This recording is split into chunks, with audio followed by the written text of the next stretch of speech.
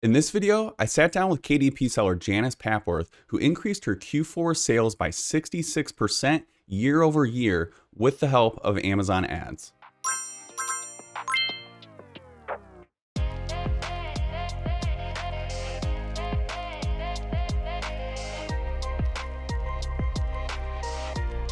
Janice, thanks so much for coming on uh, our channel. Uh, really excited to have you here. Well, thank you for having me, Cameron. I'm really excited to be talking to the real person. Absolutely. Uh, I, let's just jump right in. Uh, maybe it'd be helpful for everybody watching this if you could just kind of tell us a little bit about your Amazon journey.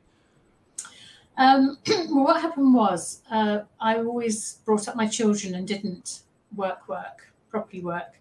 And so when they got a bit older and I had a bit more time, I decided to start a blog because I wanted to do something from home that would kind of make money and I wanted to monetize it. And I thought, what can I blog about? What do I know about? I'm obviously about mum stuff, but everybody's doing that. And my husband's, um, he's a railway expert, really. He's very big on railways. So we started a railway blog and I did all the SEO and the Facebook and the Twitter, and he did the actual writing the articles because he knew all about heritage railways and that sort of okay. thing. And then I went on a Facebook course with Rachel Miller. I don't know if you've heard of her, but she's a big Facebook guru. Okay. And um, she had Jacob Topping on as a kind of as a guest, mm-hmm. and he said, "Oh, the most the easiest thing to sell anyone is a t-shirt and he started talking about merch by amazon and i thought god that's good i could sell them railway t-shirts because not many people are doing that and it's uk and you know it's not the same in america so we made some railway t-shirts we got accepted into merch that was mm-hmm. the first thing what about um, what time period how long ago was that it was um about april 2018 Okay, we started about at the same time. I was, I think, I was around March or April as well. So that's interesting, isn't it? Yeah, yeah. That is your merch. but um, I'm not on KDP, yeah. which we'll, I'm sure we'll talk about a little bit. So maybe you know, probably some balance there. So I started making railway shirts and selling them through the blog, and then I thought, what am I doing? You know, I'm waiting for him to write the next blog, and he's off doing something else or working or I could be doing t-shirts on anything. So I started doing other t-shirts, really, and that's how I got into merch. And then I joined the Facebook groups and things like that. I do things quite thoroughly, and um, I joined the Merch Girl Boss group, and Amy, I can't pronounce her surname, Amy something like that. I'm not familiar. Amy, she was talking about KDP so I started okay. looking at that as well. And then I picked up on people like Kelly Publish and Rachel Harrison Sund. Okay. And really got into KDP. And that worked out better for me than merch. But I still do merch, I do them both. And then I found out about Merch Jar because I've always followed RJ. And I think okay. you did an interview with RJ on YouTube yeah. about Merch yeah, Jar. Yep, I've been on his channel a few times. Yeah, so I've always followed RJ and Matt and I was in their secret group for a bit, but then they got a bit more Etsy based. And I didn't okay. want to do Etsy because it involves a lot of customer service and everything, and I'm not in the US. So I, I didn't want to be with the time difference and having to deal with people. That wasn't the point of doing the passive income, really. Right. The passive income was so that I could cope with family issues or um, we could go and travel, we could go away or whatever without having to yeah. worry about somebody's t-shirt hasn't arrived and they want it now. Yeah, absolutely. I don't blame. I'm in. I'm in the U.S. and I don't want to deal with uh, the people here uh, no. with customer service. So, uh, so, that's that's pretty amazing. Uh, so you're so you're on merch. You're on KDP. Um, been selling on merch since 2018, and you started KDP. Was that the same year? was that did that come a little uh, bit later? I started in October of 2018. Yeah. Okay. So same year, so pretty close together. Um, when it comes to KDP and merch, what marketplaces are you selling on? Is it UK and US, or are you in some of the other marketplaces as well? Yeah, um, you, US merch is definitely the biggest, mm-hmm. but I find I can pick niches in the UK that are not being covered in the US, so that helps me quite a lot. Okay. And then I've done some European ones, but nothing major really. Okay, gotcha. I just dabbled. Things I thought were suitable, things that didn't have words on them. Okay. Um, I've never got too involved with pop sockets or throw pillows or tote bags. You can't do everything, can yeah. you? You've got to stick to what you know, really. Yeah, yeah, and I mean, I, I think most people find that you once you find a niche that works for you, just kind of you know accelerate that, pour gasoline on that. And you said KDP was working. Uh, you had you had more success with KDP than with Amazon. Yeah, much more. Um, I did start splitting my time initially, and I had a big love for the t-shirts, kind of, and I sort of almost resented having to do a bit of KDP work. but then I realised KDP. I'm like, what am I doing? You know, I'm looking at my sales, and I've sold five t-shirts today, but I sold that many books before I woke up this morning, because obviously the sales come in overnight for me. So when I wake up, Yeah, that's when I've sold stuff. So I bet that's a that's the best feeling ever is knowing making money sleeping. That's know. for for me. I that's like one of the best things. Just waking up and you see how much money you made. That's amazing. yeah. Um, as far as like KDP, because KDP is kind of just a different beast than Amazon or merch by Amazon altogether. Where I mean, very, merch is just very much a graphic, which you'd have that with KDP. You got your cover, but then you have everything else inside the book, which you don't have to do with merch. So it's a lot more involved. Um, could you tell us? And you don't have to go into like detail of niches or anything like that. Whatever you want to share. Um, are you doing more of like low content. This is just based on my like reading because I'm in some KDP groups. And I just try to stay. I have a KDP account. Just I think I have one book on there just from testing. Um, are you doing more like low content, or are you doing some more of the higher content? Are you writing books yourself? Maybe you just share some information on what kind of kind of products I suppose you're selling there, since it's a little broader than just hey t-shirts on Amazon. I I started out with tangent templates and they've got very basic templates, so graph paper and lines, but that quickly became saturated. I mean, what was interesting was in December 2018, I went to, or it might have been January 2019 actually, I went to the Merch UK conference, the first and only one because the next one got cancelled with COVID. COVID, yeah. And um, I asked everybody there, there was about, I don't know, 60, 70 people there. And I kept saying to them, Are you doing KDP as well? And they were like, No, we're not doing KDP. This is strange because I'm doing quite well on KDP. Um, but people hadn't got into it from the merch side. So I was following more traditional people that had always done KDP and never done merch. Okay. And so I started out with the very basic stuff. But as the merch people came in, that became just so saturated. And a lot of it was just absolute rubbish. And one thing Amazon is is big about, and I'm big about too, is that you give the customer value.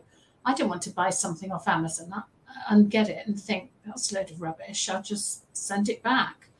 And KDP are not taking our returns off us at the moment, like merch, but I think they will at some point because I've never seen a return in my dashboard ever. Really? And yet people must be sending them back, Hmm. mustn't they? I Sometimes would, I would imagine like I can't imagine Amazon not accepting a return. Like that blows my mind if Amazon just Yeah. wouldn't accept a return on basically anything since they're so customer centric. I mean, if anybody has been that's watching this has been selling on Amazon, they know the customer is the only thing Amazon cares about. Us as Yeah. the sellers, they don't at all. Um, so if you're anybody watching this is new, that's that's what it is. Amazon only cares about the customer, not the sellers. Um, so, So- that's really interesting. as creators, we have to care about the customer as well. Because sooner or later, Amazon will crack down on all that rubbish.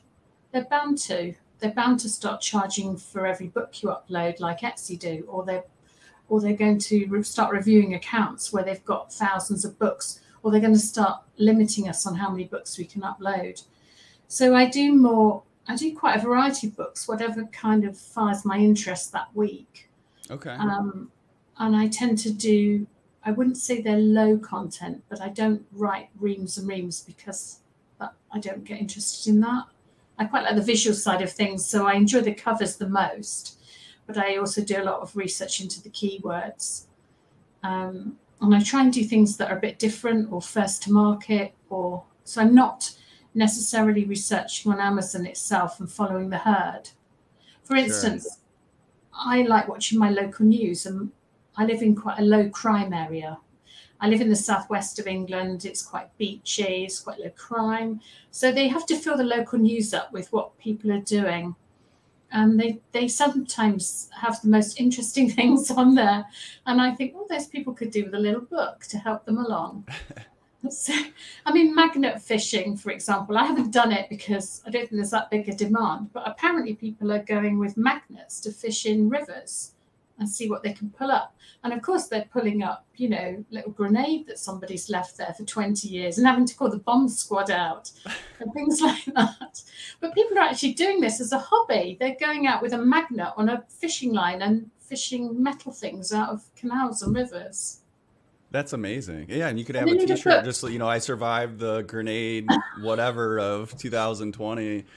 Uh, that's I mean that that's a really interesting approach. Um, and I think especially for anybody that's just getting started with these kind of things is that using your own knowledge and interest to find products to sell because there's I, I mean we you, you mentioned saturation and and there is a lot of that especially with merch I, am sure sure a lot of that was just hey take this t-shirt all my t-shirt designs we're just going to throw these on uh, journals and try to sell them and see what happens and sticks um, but there's still so many different niches or what you, what you said, just like these small stories or what whatnot that can become products, and like that's infinite. There's no end to that.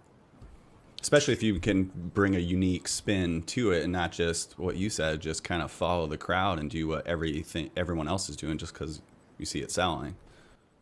And the other thing is, if you make a book that's got more interior, it's very hard to copy so on merch, all my designs have been just copied everywhere. And it's so disheartening when you go and look for something and your bestseller's there and you report it and then you have to report it again and again. It's just really disheartening. But on merch, on KDP, it's much harder to copy an entire book unless they buy it and somehow scan it in I have okay if, you, if they buy it. At least you're getting something out of it. Mercer just hitting a button to download. I've seen it where they've copied my um, cover and front page, but the inside sure. is just lines, which is not the point. And then I've also seen it where they've actually done the look inside pages mm-hmm. and they've copied mine. And then I found it, they, they'd actually pinched pages from other people's books and meshed them all into one book. And so I was writing to Amazon and saying, "This is these two pages are from my book, but the other pages I bought their book in the end to see what mess they've made of it. But the other pages are from so and so's book, and the ace pages from so and so's book. And I could reverse image search them, or I could see other uh, writing. I could search that and find which books they'd stolen the interior pages out of, because they could only use the look inside pages, so right, yeah. they weren't consistent through the whole book." They'd had That's to crazy. use four or five books and mesh them together.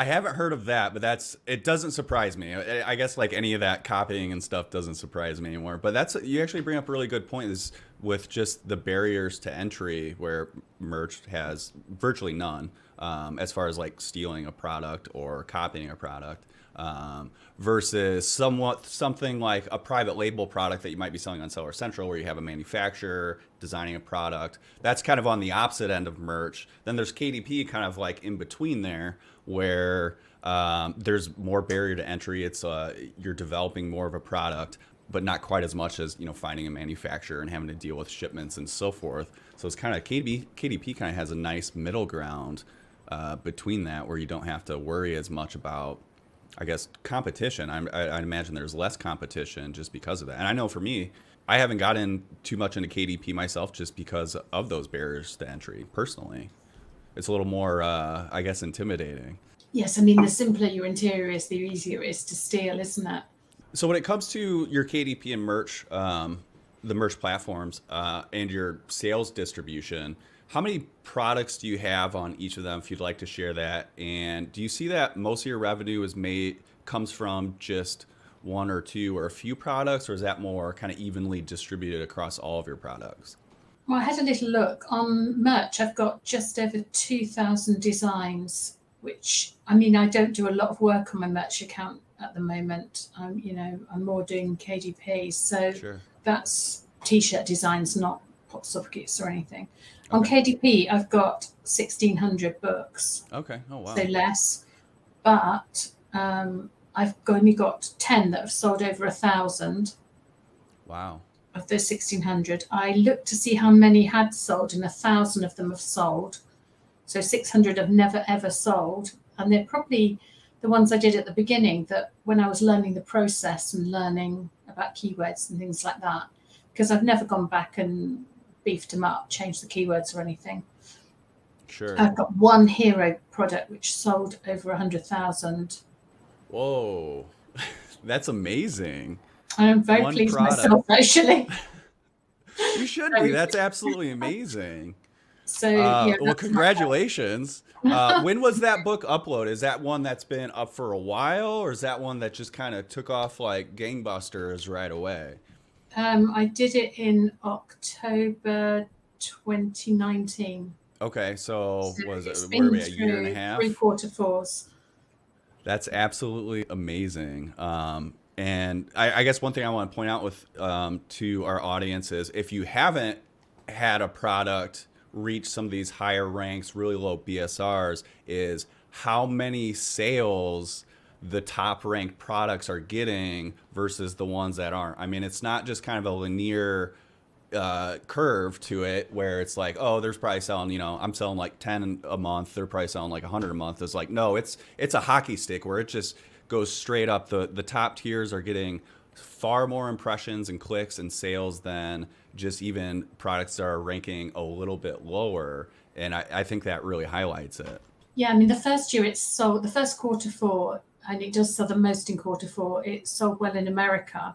And then I realized that it had reasonably good rank in the UK and Canada as well. And I started pushing it then in the other two markets too. But the thing is that if you can use ads to push a book in KDP, then Amazon actually kind of rewards you because in KDP, what you're looking for is also to get into the also boughts and into the person who looked at this, looked at this. That's like free advertising from Amazon. Yeah. And once you start getting into the charts as well, and they also have um, Christmas gift guides that you can get into. So you can get the Christmas gift guide badge, and then you appear in the Christmas gift guides that Amazon run then then that's what you're looking for really.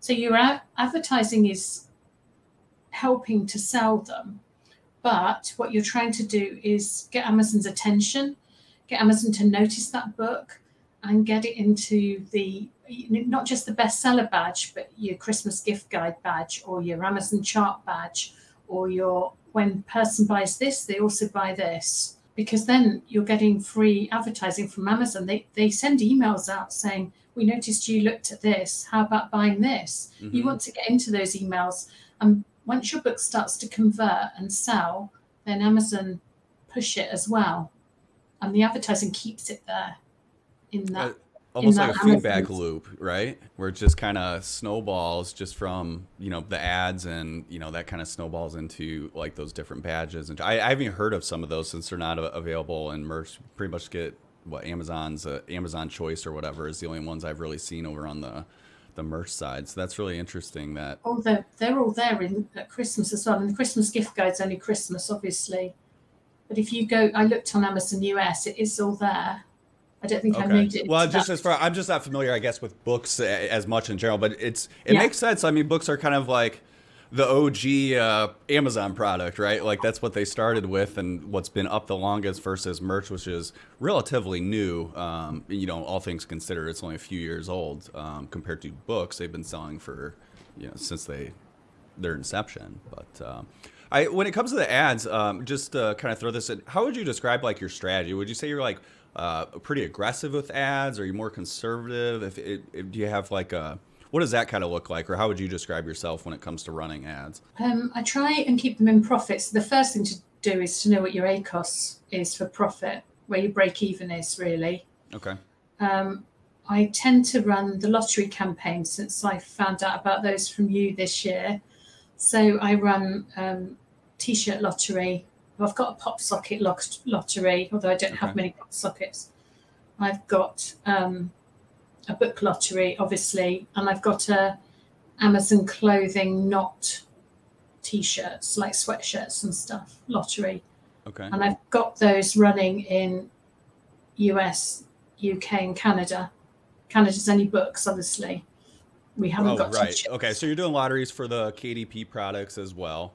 Yeah. Um, and you, you have to segment those by market. It's not like you can have like your can- Canadian and US into one campaign. Just the way Amazon Ads works, they split that up. And for anybody watching that's not familiar with lottery campaigns, um, that's essentially just a campaign with a, a single ad group with all of your products in it or some uh, segment of products. So like if it's just t-shirts. So there's a lot of different varieties. Um, we have a video on uh, lottery uh, campaigns and how to get those started and what those are. I'll link that in the description of this video so you have that as well. And then once they start to sell, if they're selling for something seasonal, so the shirts are often seasonal, um, Sure. then I'll run their own campaigns using your method. I'm not very good at ads, so you have to tell me what to do, Cameron. But I watch the videos and I study it very carefully. I make notes and I think, oh, I should be doing that. And if it's really complicated, I think oh, I can't cope with that. I just I'm just on the light version, you know, they keep it simple. So I do the three ads. I run the auto first on the individual product. If that starts selling, then I run the testing and the performance ads. And I use MerchJar to take the keywords from the auto ads into the testing and performance. Now that's new for me this year. I haven't done that before. Okay. I knew I should kind of be doing it because RJ. But it's a lot of work. It's so much work to do by hand. And RJ kept banging on about it with the shirts, and I'm like, oh, I really can't face that. I just leave the auto ads running; it'd be fine. And Which um, they do work. Um, I know a lot of people are kind of, or some people are um, with auto ads. Some they can have that stigma. It's like, well, it's Amazon doing it. It's their algorithm, so they must not work. It's all Must manual all day. And maybe some like older school uh, PPC advertisers. That's always been like with Google ads. Like, no, you don't want auto. It's all manual, and that's kind of carried over from my, what I've seen. But auto ads work, right? Like they've. That's how I started with Amazon ads, and just seeing that success, and especially with how easy they are to get, to run, um, especially versus other platforms like a Facebook um, ads, for example. But um, so you mentioned your auto ads you've seen success with, right? yeah, and then I didn't realize things like you shouldn't turn them off. So I would turn them off each year and then start a new one the following year. Okay. But I've learnt this year to just turn them down and not turn them off. So nothing's been turned off. They're all still there. And are you Um, seeing a difference in that over the last year? Kind of these changes in strategy that you've had. Have you noticed a difference in your ad performance? Um, I think it's the turning them off thing has got to come round again because things mostly are the things that take off are seasonal rather than evergreen, Okay. um, particularly with the t-shirts. So I'm looking forward to. I started about May with MerchJar, Okay. But what I think has made a difference is because I'm harvesting the keywords now. Um, I'm getting much more. The sales have increased, and that's the the only difference I can see. That's that I've It's the only one that matters, right? the sales. the sales Yeah. increase, and that's at the end of the So- day. That's the only thing that matters. I can see that on the t-shirts. You know, some of the things I've done on the t-shirts this year, where I've harvested the the keywords using the auto, the test, and the exact. Um, just as you told me, and I've got my little card here where I make little notes on how to do it. this is my crib sheet. If I lose that, I'm stuffed. I've got to watch your video again. um, and I did it on the hero book this year as well. So I actually increased my sales by about 60. Well, I increased my profit actually by 66%. Year over year. Wow. Yeah. Oh, just okay. Over so Q4 this past 2021 versus Q4 2020. On, That's amazing. on the hero book, yeah. I I'm about looking forward to your I'm looking forward to yeah, I mean, I'm I'm honestly in the same boat. Like I have hundreds of thousands of products, but like 95% of my revenue comes from two products. And that's uh, same same boat where it's because of when you rank a product and um, it's at the top of the rankings, it's just such a massive difference where it's uh, outsells uh, you know hundreds of thousands of other books or uh, in my case t-shirts but um, just because of that sales volume. So it's it's crazy. So I'm, I'm looking forward to Q, hearing your results Q4 this year and maybe another 60% uh, increase. Uh, oh, that would be amazing, wouldn't it? I'll be in the Bahamas by then. we'll do another video. You'll be on the beach. Um, Unless Amazon has scuppered me for some reason, somehow. I don't know how. Well, we so. won't talk about that. So knock on wood. Um, did anything? So you set set up this campaign structure, um, the auto testing performance, and I'll, I'll link a video to um, that as well. It's a, a, live I did pretty recently that kind of goes over that structure and um, kind of my current structure that I'm using that um, Janice is using as well. Uh, did anything surprising come from that hero product? That any keywords that came up that were surprising to you that were selling and working that you wouldn't have thought of? And I've thought of an example for you um, because it doesn't give away what I did. So if you imagine you're the person who's got to buy Christmas presents, I mean, I am that person in my family. You might be in yours, but there's some people that are really hard to buy for. So my dad, he's 87 and he's okay. really hard to buy for. He doesn't leave the house. But every year I buy him a tin of biscuits and every year I buy him a Sudoku book. And what was happening was people were searching for tin of biscuits on Amazon. They weren't, I mean, this is just the example. And then they were finding my book because Amazon was serving it to them somehow. And because they were buying it, tin of biscuits was showing up in my keywords. I thought that's weird because I'm not selling tin of biscuits. But everybody who's buying the tin of biscuits is buying the Sudoku book. And so it's worth advertising against the tin of biscuits, even though it's nothing to do with the book. Mm-hmm. Nothing to do with it. People are buying these things together, and enough of them are buying them together that Amazon put that into the auto campaign, and then it got picked up by the keywords. That's quite you know, it's quite um, it's quite good value to advertise against the tin of biscuits because nobody's thought of it. Yeah, hundred percent. So that could be. I mean, depending on the the other competition for tin of biscuits, it could be a low cost per click for that search term. And also, if it converts as well, I understand that Amazon, you don't have to bid so high because it's converting well. Amazon don't make you, it's not solely on bid where Amazon shows you the um, shows the advert, it's also on conversions. And because it's converting against Toe Biscuits, you're not having to pay so much.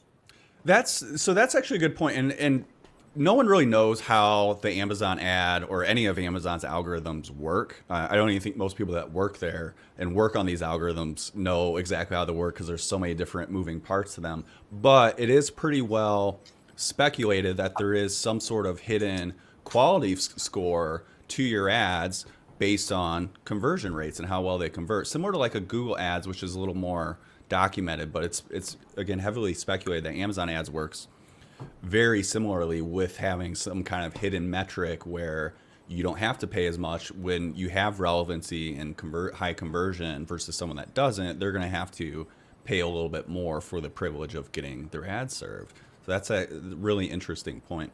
The other thing I want to point out is with this tin of biscuits uh, example where it's like something you never even thought of is every single search term on that customers are typing on Amazon has some level of traffic on it that is coming through that search term. And the more search terms that you can appear for, whether it's you know incredibly relevant or you know or hyper relevant to your product or it's not, it's like the tin of biscuits.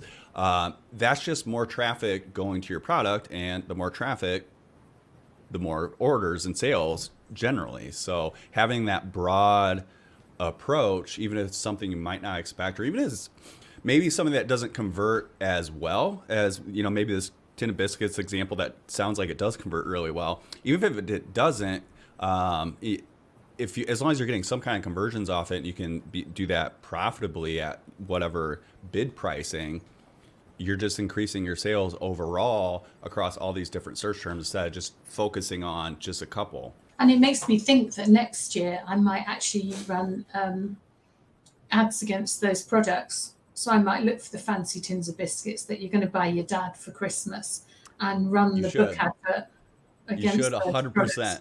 And just Yeah. let Mar- Merch Jar handle all that because that's all you can automate that whole thing with the product ads and um, and that's one of the, my favorite things about automatic campaigns. So if anyone's still on the fence about using automatic campaigns, it's for the product targeting. So whenever you see in your search terms that ASIN that appears, means you're showing up on this product and getting impressions and clicks for it. So that's just more traffic, and you're stealing sales, especially if it's a competitor. Uh, there's also the complementary products and so forth. So it's just more ways to get traffic. And from what I've seen, just with how many different products are on Amazon, if you look at your placements on your automatic campaigns, I would bet most of those, the product placement, so when your ads on those products, is getting far more impressions than your rest than just your search result uh, rest of search or top top of search results. That's what it's been in my case so and i wouldn't be surprised if that's the case for most automatic campaigns. Um, so definitely um, i would recommend product ads and they can work extremely well one of my best in this past q4 for for my hero product was comp- competing uh, products to mine and not just directly related to mine, especially with gift giving holidays like Christmas. People aren't necessarily looking like, uh, okay, I'm looking for a fishing shirt and then I'm only. I'm only looking at fishing shirts. No, they're looking at kind of like a bunch of different stuff because people do have a lot of different hobbies and so forth. And when they see something they like, they purchase. You can, like the tin of biscuits, you can, it sounds like a sale. That's a great sound. As- we'll see. I don't know how annoying it can really get because it means you're making money. So it's, um, My aim was to get to the point where my husband came in and went, "That noise is really annoying. Can you turn it off?" And I'd be like, "No, Sorry." so even if it's not relevant, so like my hero product, uh, product targeting did uh, perform. It was one of my best performing campaigns. It was targeting products that weren't even related to the product I was selling. They were just other products that were also selling pretty well.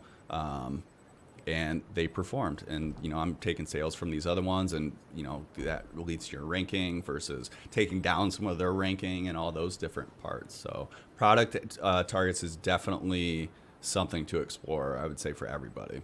So I need to know how to do that on Merch Jar. Cameron, please, can I have another video? it's so I in that video. It's in the live that i did has the product targeting in there. So the product check boxes that you'll see in the promotions uh, feature um, that is the product targeting ad. So it is in that li- that live so definitely check that out. Um, and i'll link that in the video for everyone else at home as well so when did, how long have you been running ads for when did you get started with that for each of the different platforms I- Well, I started as soon as they allowed us to.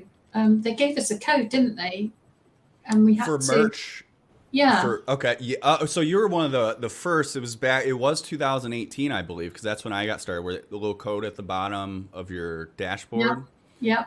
Okay, so you probably have two accounts now. I have quite a lot of accounts because I've got one for each country and each product. Each, Okay. um, you know, so I've got merch, you know, UK, Yep. US. What have I got? And then I've got the European ones: France, Italy, Spain, Germany. We haven't You got might, yet. you might find an extra US account in there if you take a look. Yeah, I know I I have- have. two. Okay, yeah, I do too, which is good, especially if you end up scaling out because I'm actually running into uh, campaign limits and or uh, more ad limits now with lottery campaigns, but having a backup uh, ad account for that to, for your merch products isn't the worst thing. So getting in early has its perks for sure. That's one of the things when I got Merch Jar, trying to link them all in, get them all into Merch Jar. But I did that. That you did answer all my questions at that point, trying Yeah, to get all in. We we don't know what the deal is with it, uh, and we've we've tried working with Amazon. I don't know what it is with it's. It seems to be the the European markets or the I guess the non-U.S. ones for whatever reason have trouble syncing. So we we got to do some uh, fiddling to kind of force that sync to the the API so we can read all that data. But um, for the most part, I haven't ran into anybody that hasn't been able to get them to sync at the end of the day. But uh, so if anybody is is watching is a Merch Jar user that is having problems syncing them, just let shoot us a message in our in-app support, and we'll uh, we'll help you out with that. So we've we've kind of nailed down some weird troubleshooting that works for some reason. So we don't know why, but. So you've been running uh, Merch by Amazon ads since uh, end of 2018, I think. I think it was like October, November, I think was when I started. So I would imagine you were probably around that same time. Um, KDP, what, about when did you start with the with them? Well, I think I had that straight away as soon as I started. So I must have, I must have put automatic campaigns on um, once I saw stuff selling. So probably around the same time then. I yeah, imagine. I think so. Okay. Awesome, and that's another benefit for everybody that's not uh, is is interested in KDP or hasn't heard of it. You get access to advertising right away. You're not waiting for tier ups. Um, that could eventually happen with merch by Amazon as well. No one really knows, but they have been rolling out advertising to where I've even seen people at tier 100 on merch getting access to advertising. And Seller Central gets it right away too. So it's pretty much just merch that you have to like uh, move up in order to get that. So every other platform I've seen right away, so you can start promoting your products uh, and launching them. The thing I did was um, I did advertise on my own books. Um, my hero books got two other books that kind of sometimes get bought alongside it.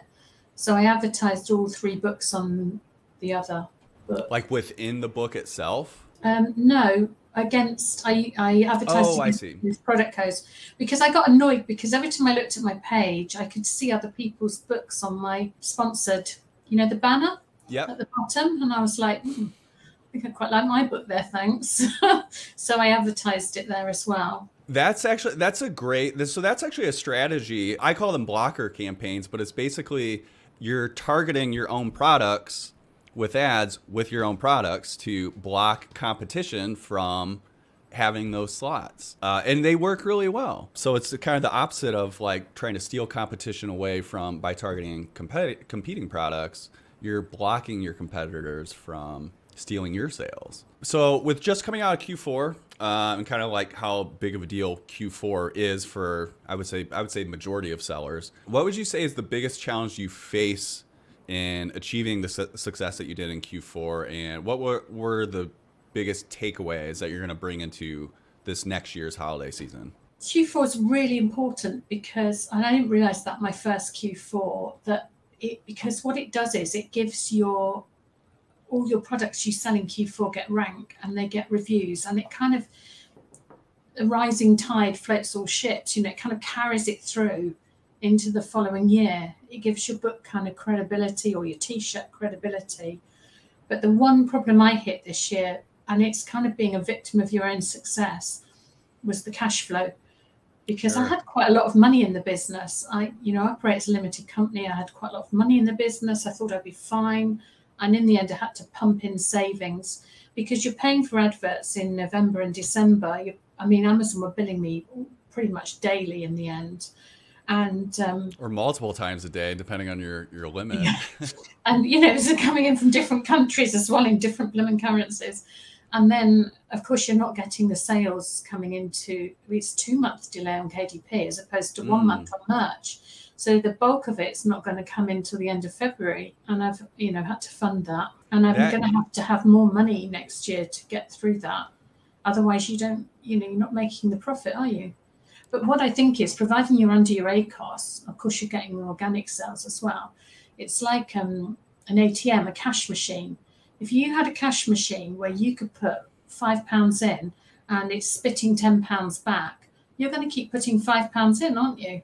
Yep. You've got to have the five pounds to put in. You can't run out of five pounds, otherwise you can't get your ten pounds back. I I love that analogy, and I have a very similar viewpoint on advertising uh, where if someone asks me what my advertising budget is, I don't have one. I don't have any sort of advertising budget whatsoever. It's how as much as needed because if you as long as you're hitting profitable ads or break even at worst case, I'm going to put in an unlimited amount of money or as you know, as far as reasonably I can do to get those sales out of it due to ranking and so forth. So I love that analogy because that's uh, 100% right. Like if, if I said I was going to give you $2 for every dollar you gave me, you're going to find every dollar you possibly can to keep making that happen. But uh, for those of um, those of you that haven't gone through a Q4 or I guess like not even just Q4, but maybe more so like having a product that really takes off where you need to keep pumping in ads because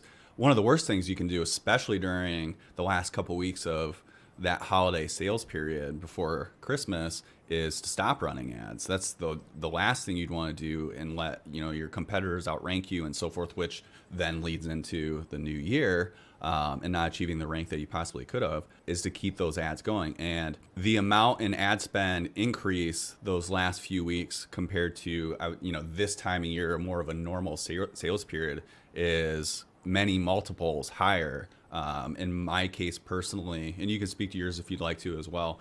I spent in a 30 day time frame over that from that Cyber Monday to end of the holiday sales period, probably six or seven times as much as I would in a normal 30 day period.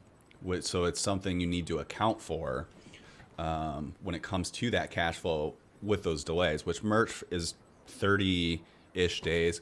Uh, I guess 30 is 60 from the start of the month to kind of that the end of the month payout, but um, sounds like KDP is a little bit longer even, so even more of a, a cash flow challenge. Yeah, another month. Um, and also, there's a delay, isn't there? So there's a delay in. So with merch, we know when we've sold a T-shirt, that's it. You get that cha-ching. But with KDP, um, you don't find out you've sold it until the book actually ships. Oh, so every okay. day, what I was doing at the same time every day for my hero product, I was writing down the BSRs in Canada, UK, and US, so I could check that my sales were still improving. Interesting. Do you get the data through your Amazon ads, do you see that that, that order data is pretty much live? No, I think there's a delay there as well. They, they're known to be unreliable and there's a delay. So I was checking my BSRs to check that because they were still going down, I knew I was selling more than the day before. That's a good and way I was to do also it. Checking the ACOS as well, but you've got to, but you've got that delay. Yeah, that's interesting. As far as like the cash flow challenge, I don't know that I have like great advice for um, people. Uh, I use credit cards for all my um, Amazon advertising, so just the built-in delay with a credit card itself kind of helps offset that. Um, but it can still be challenging for sure, depending on uh, you know. I've hit credit card limits in the past, and um, it's something you want to be careful of. And uh, make sure you have another card ready if that's the case. If you don't have limits that can you know hit that high spend if you're expecting it. Um, I don't know if you have any advice uh, saving up uh, throughout the year to make sure you have kind of a, a, stash for that expected ad spend. But I don't know. Do you have any tips or maybe something you'll do different next year? I've never thought about using credit cards. Um, I've only I run the business as a limited company in the UK, so we've got a business bank account. Um, my husband he does a completely different thing, but we're both in the same business account because that's how we started. And so um, we ran out of money, and I had to say to him, oh, you know, we've run out of money. I'm going to have to pump some personal savings in. Is that okay with you? And he was, he's, it's not that I've got to ask my husband before I do things because he trusts me, but it's just respectful, isn't it? To say, sure. I'm just about to raid the joint account and pump it all back into the business, and we're not going to be paid by Amazon for two months. And he's like, okay. um, you know, I was just lucky I had those savings that I could do it yeah. really. Well, it sounds um, like it paid off. So looking forward off. to February for sure. I mean, and I know everyone normal, on merch is probably looking forward to the end of this month. I know I am. Spent my normal ad spend times 10, 15. Wow. Okay. So even a bigger increase. So which which happens at those when you have especially like a hero type product that just kind of goes gangbusters because especially during the holidays the traffic is just so much more immense than what it is during the normal year. So being prepared for that. So yeah, I would say I guess my my two cents would be like saving throughout the year. Credit cards can help with that if that's something. Which I I really like credit cards. I don't know anything about like UK how that works if there's differences with credit cards, but with um, the cards I have through the businesses, I get up to four. I, basically, it converts to four and a half percent back on all my Amazon advertising spend for the first hundred thousand dollars I spend every year. So it is a significant cash back opportunity as well, depending on what's available, you know, with the, the banks in your country and so forth. So um, for anyone here uh, in the U.S., is Chase Sapphire Reserve, um, and it's a personal Chase one. I got to do some transferring stuff, but it ends up working out. My buddy turned me onto it because he's an Amazon seller and he was doing that. But uh, something to check out and uh, consider if you're if you're already spending tens of thousands of dollars, tens of thousands on Amazon ads, you know, it doesn't hurt to get a few points back on it. So that's interesting. Yeah, because I have a personal credit card I do that on. I didn't think of doing it with the Amazon ads. That's very interesting. Yeah, and some of it, yeah, the way the one I have works, I'm sure it's going to just be different with depending on what's available, but it's 3% back on the ads. And then when I transfer it to my personal, it's um, a 1.5% multiple, so it's like four and a half percent total. So it, it definitely, I mean, it's an extra four or five thousand dollars. Uh, almost a free vacation uh, per year just from the money I'm spending no matter what. So something to check out. Yeah, I will. That's a very good tip. Thank you. Uh, what impact do you think your success this Q4, and we kind of touched on this a little bit already, will have for this year? I'm definitely going to make another book that goes alongside my hero book, and I've got the idea for that. I used um, A plus content as well to um, display the other books on oh, the hero book. So I know that I was selling probably one in 10 were buying one of the other books as well. I so I wasn't actually familiar A plus content was available for KDP. Uh, would you be able to just like briefly explain what A plus content is for anyone that's not familiar or doesn't have that option in KDP yet? Yeah, we've we've only just got it actually. I think we got it around September October time. So you can um, display. Other people had it, but not KDP. So traditional publishers had it, okay. and I think um, people who were doing fulfilled by Amazon had it. But basically, you can um, add content to your um, description page for your book, and you can choose what to put on there. So you can put photos on, you can put more text on, you can put photos of the interior of the book. But in the end, and and I have another series of books that I do do that in to show what the inside of the book looks like, and I use some mock-ups as well with um. But in the end, on this hero book, I put I literally put the other products on, so you can add products on, and you can have a little comparison chart below them. Like this book's got it's hard to say without I don't want to give away my niche, but this no, don't do that. Don't do um, that supposing it was a colouring book, you could be this book's got colouring pictures in, and then the next book's got puzzles in, and you put little ticks on what they've got in them, got so it. that people can compare products. That's a great idea. Yeah, so like the A plus content, if you've ever been on anybody watching, if you've ever seen a product page and you scroll down and their description keeps going, they have really nice pictures and all the different infographic type stuff. That's your A plus content.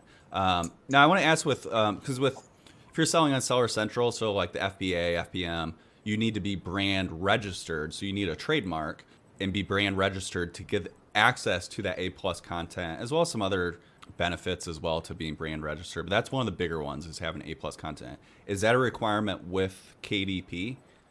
No, you can put them on any wow. of the books. So if you wanted, to, sometimes people like um, collections as well. So if you had, say, a notebook with a floral cover, you might also choose to do your graph paper with the floral cover. And then you could put your, on your A plus content, you could put the other book alongside. So you have your two books together. And then once you've made your A plus content for one book, you copy, you, you basically tick the books you want it to appear on. So it's the same on all of them. Or supposing yeah. you had a book for kids aged two to three, and then you had a book, follow-on book for kids aged three to four, and one for kids aged four to five. You could make A plus content with all three books going across the bottom of your page, and then display it on all the all the books. The same. That's great. So you get cross marketing, and yeah, if you, that book is something that or something that they're not quite looking for, but it's close. They got other options, so you're still getting the sale or buying multiple as well. Um, yeah I would point out with the A plus as well. One of the big benefits there is how much more room in it for description and keywords specifically that you have for this for SEO purposes. So you you just have more opportunity to fill your pr product with even more keywords to appear on more search terms because Amazon does index, um, which what I mean by index is that you appear for a search term. That means you're indexed for it if you're appearing for it. Um, so you have an opportunity to appear for even more search terms uh, than you would just because you don't have as much room. So you can do a little bit more, I don't want to say keyword stuffing, but just, you know, more opportunity think, for it. you might know more than me, but I think Google indexes the A plus content as well. That I'm not sure of. I would assume so. I, I would be surprised if they didn't. While we're on keywords, I was going to say, of course, with KDP, we get seven back-end keywords that we can write as well. And I think they're absolutely crucial for your auto ads because Amazon's using those to determine who to show your auto ads to in the first place. You beat me too, as I was actually going to ask a question if you could share any best practices when it comes to SEO and kind of how that impacts your advertising. So we'll just kind of jump right into that. Um, so sorry to cut you off, but yeah, let's uh, yeah, let's talk about that because I, I agree. Like SEO, not as not everybody thinks of advertising and SEO together, and they're very much connected. Well, I'd done I'd done a free SEO course when I did the blog, you see, so I had some inkling about SEO. I mean, I wouldn't say I'm an SEO expert, but I could see that the keywords are crucial. So the title and the subtitle of a book really, really matter, and you can't change them once the book's gone live. But you can change your back end keywords, and that's where people go wrong. I mean, I think first of all they don't fill them up. So you've got I can't remember 49, 50 characters for each one, and you've got seven boxes. And Amazon mix and matches the keywords within each box. So you need to fill them up. You can't just put coloring book. You've got to put unicorn coloring book for girls, kids. Will it? It will mix and match them all up so that you've then you're listed for unicorn coloring book, coloring book for girls, coloring book for kids, unicorn coloring book for girls, unicorn coloring book for kids. Having that and broader so, yeah. Know, search terms, so you're appearing on more search terms because the more search terms you appear on, like we talked about earlier, is the more opportunity, the more traffic you have available to your listing. And then there's no good putting unicorn coloring book as well in the second keyword term. You've got to think of something else, which can be tricky depending on the book not duplicating your keywords because Amazon once a keyword's kind of in your listing somewhere, like you don't need to keep repeating it necessarily.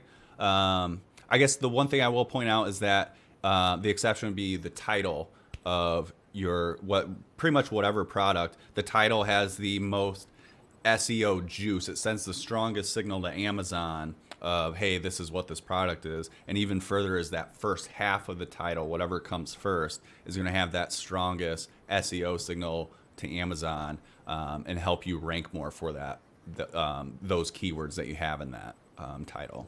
And also i think people do sometimes forget that we spell things differently in the uk so if i write you know humor i'll also write it with the uk spelling as well to get both words in. I don't know if Amazon works that out itself, but maybe it does, maybe it doesn't. They do like misspellings. I don't know if they consider it a misspelling or not, but I have a similar tip um, for the U.S. The U.S. has a lot of Spanish speakers, uh, and uh, where you can have Spanish in your listing too to index for Spanish uh, search terms, which a lot of people don't do. So if you are looking to kind of increase um, some of that search term volume, uh, or number of keywords you're indexing for. That'd be an option as well. Is uh, uh, putting some Spanish in your listing. This was from a podcast. I'm going to give a shout out to the Ad Badger podcast, even though they're a competitor to us, but um, they do have a great podcast. And I'm, I'm a big proponent of just learning from everybody you can and just kind of absorbing it and um, doing what you can with that information. And uh, it was uh, Stephen Pope, I believe, was on there from my Amazon guy. He's a Amazon consultant, but um, according to him, the uh, images in your A plus content, like the um, alternative text form, so it's not a, it doesn't appear to the customers or on your page, but those index as well. So it's an area where, okay, maybe you don't want to like have Spanish in your listing, for example, you can put some Spanish in your um, um, alt image tags and still gets indexed there. I haven't tested this, so this is just kind of like passing on um, some things I've I've heard. Uh, maybe it's a rumor, but uh, uh, Stephen Pope uh, is pretty well respected in the space. So I uh, another option as well to uh, increase your foot, footprint for your product. How much time would you say you spend per week managing your campaigns, or or how what what what does your frequency look like when it comes to optimizing your campaigns or bids? Could you tell us a little bit about that? I use SmartBid for my testing and performance ads although I have a little delve every now and again to check they're okay. So what I do is I usually run through my ads uh, once a week on a Monday. Okay. And I change the bids myself on the auto ads depending on whether they are within ACOS or not. If the ACOS is profitable or not, basically, okay. then I tweak them. But I don't use Merchjar to tweak the auto ads because I was running into problems where it kept turning them down or turning them up. It didn't know when to stop if that makes sense. Yeah, yep, it does. That, it does for smart bids, which um, for anyone not using Merchjar, not using smart bids, smart bids is an automation where it adjusts bids really slowly for any target, so like keywords or um, your auto targeting groups, and for targets that are getting at least a couple orders within a certain time frame. And regarding like the, we we have ran into, uh, we actually have a pretty big change coming up with the smart business, just our the way bids are adjusted in general. Because um, we did run into it where it would keep adjusting low bids, for example, when there wasn't necessarily enough data to make those changes. So we have some uh, upcoming changes that that won't over optimize them so much. So it sounds like once a week, um, on average, you're jumping in and maybe making some manual changes, and then kind of have some automations with Merchjar going with the smart bids for the bid yeah. optimization. Okay. I've got the smart bids going on the keywords, just not the auto ads, because I knew, you know, when I looked at them, they weren't doing quite what I wanted, and it could have been the way I set them up. I mean, I, you know, I might not have done it right, but it just wasn't quite working for me. Um, but it is on the keywords. And then as we get nearer to quarter four, that's all I do is ads, really. I just check them because if you're spending a lot of money a day, and I I was spending a lot of money a day, you need to check the shipping times every day to make sure they've they're still shipping. I'd wake up in the morning, they'd have run out of money overnight. Um, I was checking them just before I went to bed to, see if they were still um, in budget, um, and also to, you know just to make sure they were still profitable and that Amazon sometimes it picks something very um, very generic, you know, Fox stuff or something like that, and then you're thinking, oh my God, it's bidding 31 cents on Fox stuff. I think I might either turn that down or turn that off because that's just way too generic. You know, it's costing me a fortune on that one keyword. And then SmartBids is not turning it down fast enough because it SmartBids doesn't realize it's just like gift for men or something. It's just bidding way over high on that because it yeah yeah. There's no context to it, right? Like it's not going to know. It's like oh that's broad, you know, very generic, you know, funny T-shirt kind of thing. There's no way to. Yeah. To program that in, but uh, I think you you highlight a good point. Is like even when you're using automations, like there's they they can work really well and save a lot of time where you're not having to do all this like tedious stuff and uh, they can get you close to kind of what your targets are your t- target ACOS but I still even if you're running automations you should still be going into your ad accounts. Um, I once a week is probably pretty similar to what I do. I'm doing maybe a little bit more now with kind of like the restarting of ads in January just pop in maybe every few days. And I'm still making some manual adjustments kind of just uh, uh, kind of correcting the ship a little bit uh, and making helping kind of speed up that optimization. Because if something's like way off even if you have an automate automation generally we recommend any kind of changes to be pretty small incremental changes. But if you can see you're like way off on something or something is like hey i got 5% acos on this target and it's got 15 orders let's bump that bid like up you know 30% and just kind of see what happens because it's obviously converting well, whatever, where that might have taken maybe a couple weeks to, to happen with an automation. Uh, and the other thing is just kind of like getting familiar with your ad account and what's being targeted for your different products, looking at your search terms, uh, just kind of get a feel for what's going on. The more you get it in into your ad account, you're just going to have a better grasp of just hey, here's what's going on with my Amazon account, and here's what's what's working, here's what's not, search terms that are. Not to mention just the product research opportunities as well, especially for eh, merch or KDP, where we can create products kind of on the fly and on demand using the, your search terms to see what people are searching for. And I know I've been able to find search. I've seen search terms and there's like, oh, I've never thought about that. Let's let's create some products around this search term You're going to be making biscuit tins next quarter aren't you, Cameron? yeah, t-shirts. Yeah, it's yeah, me and a thousand other people. Um, so, but that's yeah, that's and that's one of the better way, um, one of the best ways to use your search terms as well. Is yeah, just like your product research. Like we're in print on demand, so take advantage of that in any way you can, and use those search terms. Like you're paying for that data, you're using use it in every way possible. So yeah, but Merchjar did the heavy lifting for me. I was only looking at the outliers really. And then the brilliant thing, oh my goodness, Cameron, you saved me so much time because you're getting nearer to Christmas and I've got 101 other things to do, you know, apart from KDP and merch. And then, of course, the shipping stops. So I've got to turn the bids down fast. Otherwise, we're just spending money because people are clicking on it and then realizing they're not going to get it in time. And that's costing me money. And so the minute that we got to the shipping, I was able to go into Merchjar and dial the budgets down, to dial all the keywords down, just like in seconds, really. I could have been sat here for days, I think. Yeah, using if you're using ad so console. Relieved.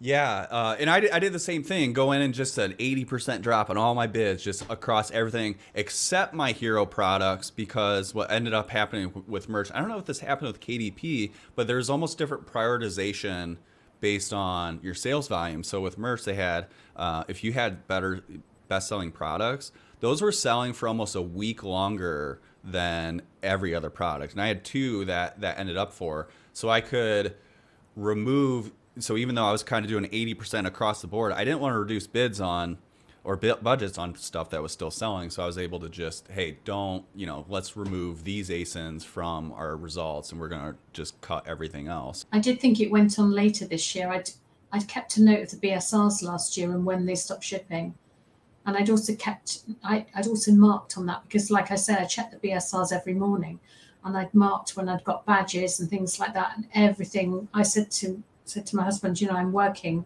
I think I was two weeks earlier on everything this year because of the ads I think because I was harvesting the keywords so where I hit you know and got a certain badge um, on it last quarter four I was doing that two weeks earlier this year that's amazing so that's another good point. Uh, as far as like the way you're doing it is pretty manual. I don't know if there's really a great way to track like badges and stuff other than that. Um, I do want to point out just with Merchjar that we do store all of your search term data on our servers.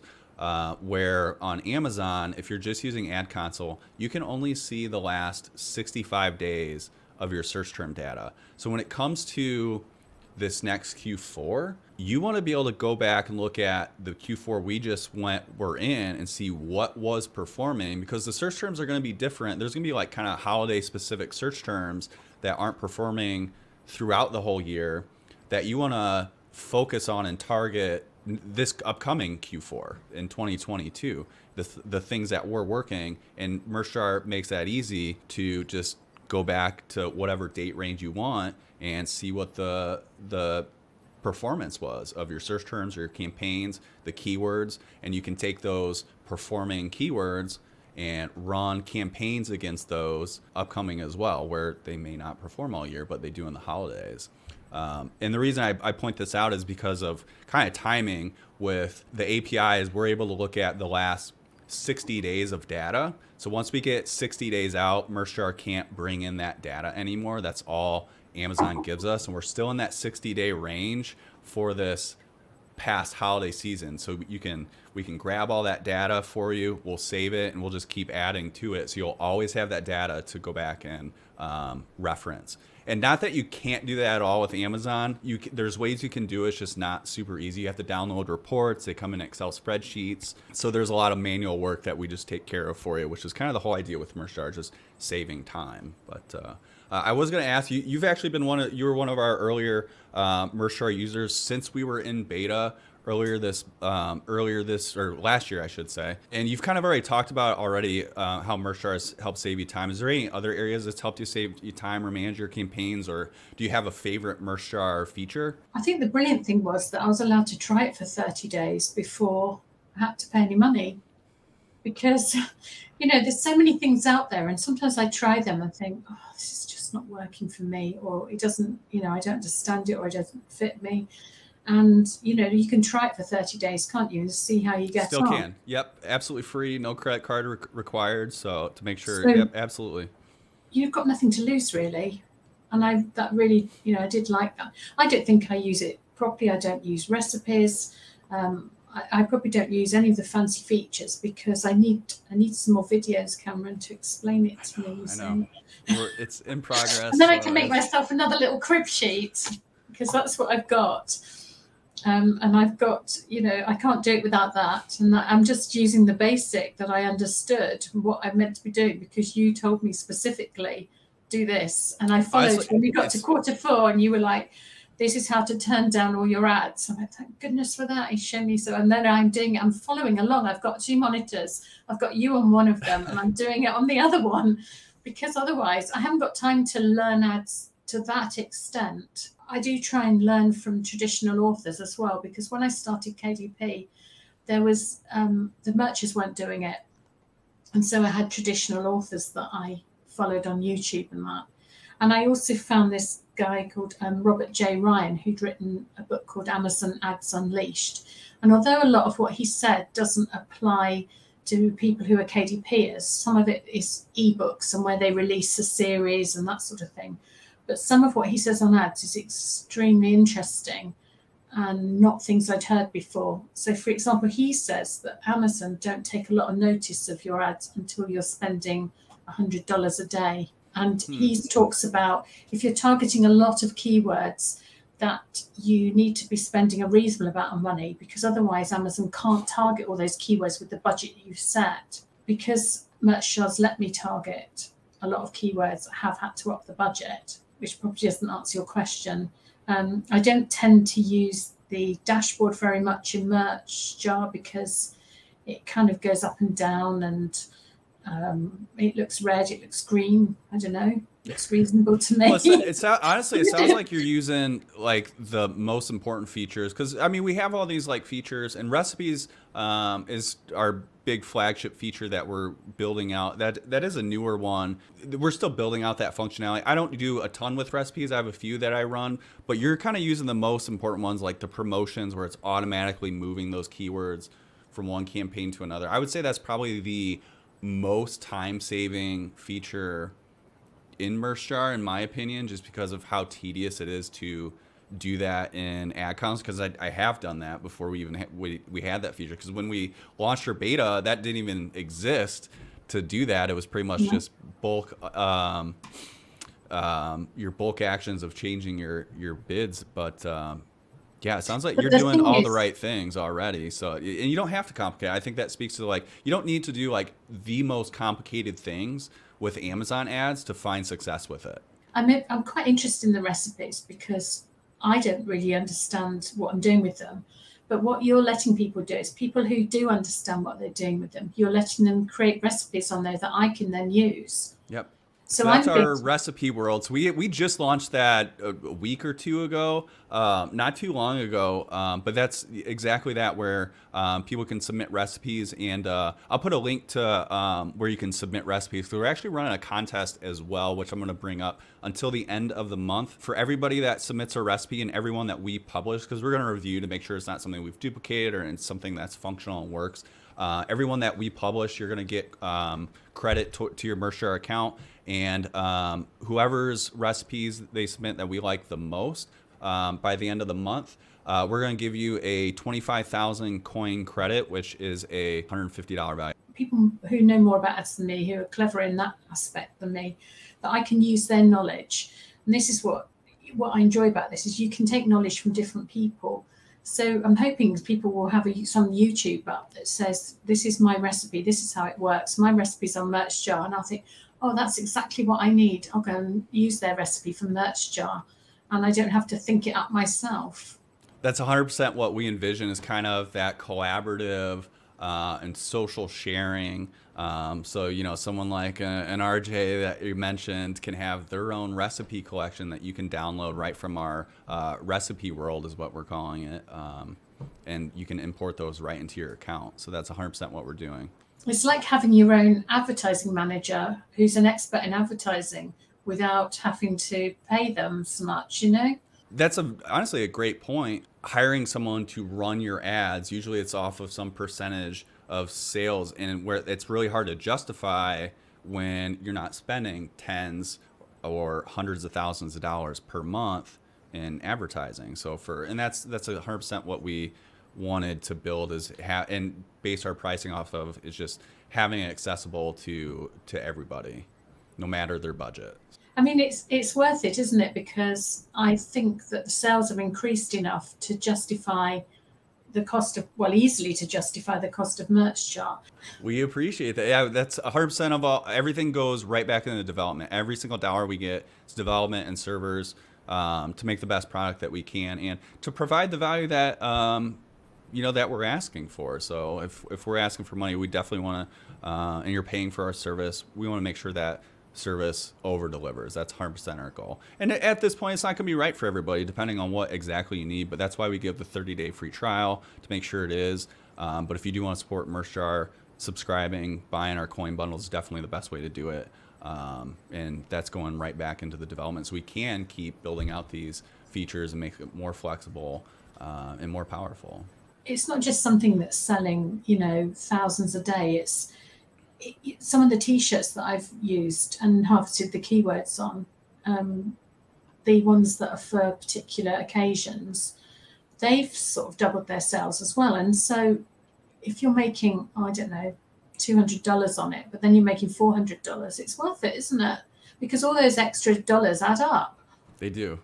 Yeah, it's and kind so, of that aggregate, and kind of where lottery campaigns, kind of the idea with that comes in as well, is just kind of having, uh, you know, a large product base that sells, you know, on on an individual level, one product only sells maybe what every three months, every six months, or whatever. But in aggregate, and you're running ads to all these, it really adds up. And that was interesting in quarter four because you see something sell both on the t shirts and the books. And I think, oh goodness, that's never sold before. I've forgotten I made that. And then I was like, oh, it must be that lottery campaign. And I go and have a look, and it was. For those people that are just getting started um, for the first time, what advice would you give them? I think you have to start small. I would I would pick a product that's already selling and preferably one that's already got reviews and start with that you start with an auto campaign at five ten dollars you don't start big by any stretch of imagination because you've got to see what works and what doesn't it is a learning process and it's a testing process really. You can't just jump in with 100 uh, you know 100 dollars a day ad can you? The lottery campaign i would say to start with those as well because they are low cost and they're low bids as well. We start at five cents don't we that's what you told me to do. That's what I did. yeah, yeah, hundred percent. It's um, I that's well, exactly what I would say. You've, you've definitely watched my videos. so I just do what I'm told because I'm making books really, and you're my advertising manager, aren't you? So we start at the five cents, we start at the ten dollars a day or whatever, and see what happens. And then those products that do sell that have got reviews, or you know, you know in your head if you've already got an established account what your best sellers are. You must do. I mean, I know I've got one coming up for Valentine's Day, and and so I've already got that one on the auto, the testing, and the performance campaigns. But that's how you start, and you start even those you start low with the with the budget, and then see how it goes. And once you've got it into profit, below your your ACOS is below your what it should be, then you up your budget. Last question for you. How has your success on Amazon Amazon changed your life or your uh, plans for the future? Um, I've got I've got well young adults now, and you know I've been a stay-at-home mum. So as they've got older, um, well, I used to do contests actually to keep my brain going when they were younger. Um, you know, you call them contests, don't you, in America? Competitions. I used to win things, and we didn't pay tax on it in the UK, so that was quite good. Um, but it just kind of put a bit of icing on the family cake. And so I was looking for something I could do from home that would keep my brain going, that would put a bit of icing on the family cake. But this is like really put a lot of icing on the family cake. And so I'm able to help help my sons more and i'm also but i'm able to work when i want that's the thing if you know if it's a sunny day and i want to go to the beach i can do that or if um, you know my dad's got a problem and I've got to go and help him, then I I'm not having to explain to somebody, oh, can I have an hour off this afternoon to go and do so and so? I don't have to do that, and the money is still coming in. I don't have to worry about that, and it gives you such freedom in your life to live your life the way you want to live it, really, and to be able to help your family around you, and and that's what this has given me, Merch and KDP. And I'm so grateful. And every Christmas, I email KDP and I email Merch and I say, Thank you for giving me this opportunity because it's amazing. And you can't moan about Amazon really because, you know, they've given us this amazing chance to earn money from home as and when we want, working as and when we want. And that's incredible. Well, congratulations on your Q4 success. Thanks so much for taking the time to do this with me. I think this is going to be uh, incredibly valuable for our audience. I look forward to doing this this time next year and hearing about uh, your Q4 success this year and just blowing it out of the water, seeing you on the beach uh, to do that. Again, thank you so much. Well, thank you, Cameron, for having me. It's been very interesting. And um, I really love Merchjar. I'm going to keep on using it because it's helping me loads. Thanks so much.